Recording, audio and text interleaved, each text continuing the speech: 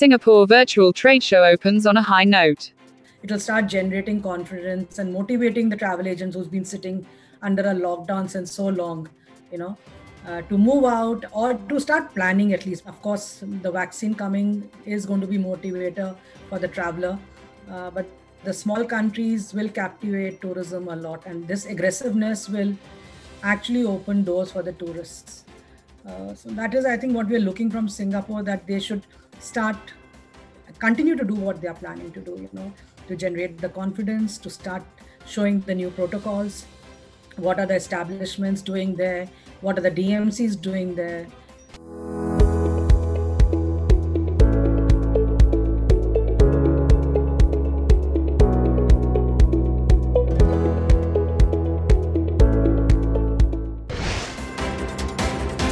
Sri Lanka reopens for international tourists on the 21st of January 2021. Vistara to start daily flight between Delhi and Sharjah from January 20th.